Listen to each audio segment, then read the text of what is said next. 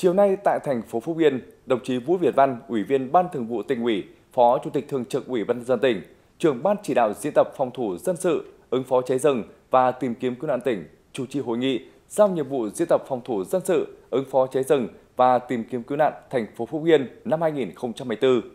Dự hội nghị có lãnh đạo một số sở ngành của tỉnh.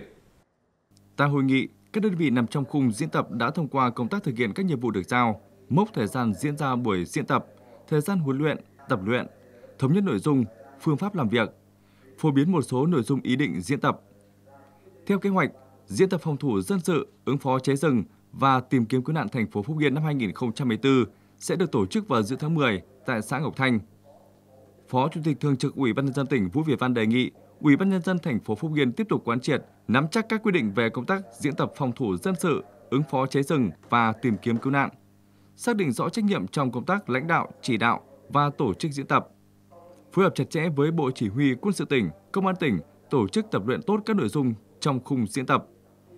Phó Chủ tịch Thường trực Ủy ban nhân dân tỉnh Vũ Việt Văn giao Kiểm lâm tỉnh phối hợp với Ủy ban nhân dân thành phố Phúc Yên ra soát tất cả các chủ rừng, yêu cầu các chủ rừng ký cam kết tham gia công tác phòng chống chữa cháy rừng. Yêu cầu Bộ Chỉ huy Quân sự tỉnh, Công an tỉnh và Ủy ban nhân dân thành phố Phúc Yên xác định địa điểm diễn tập, vận hành cơ chế, kết hợp diễn tập thực binh. Từ đó có kế hoạch tổ chức xây dựng sở chỉ huy diễn tập, đồng thời làm tốt công tác chuẩn bị lực lượng, cơ sở vật chất phục vụ diễn tập.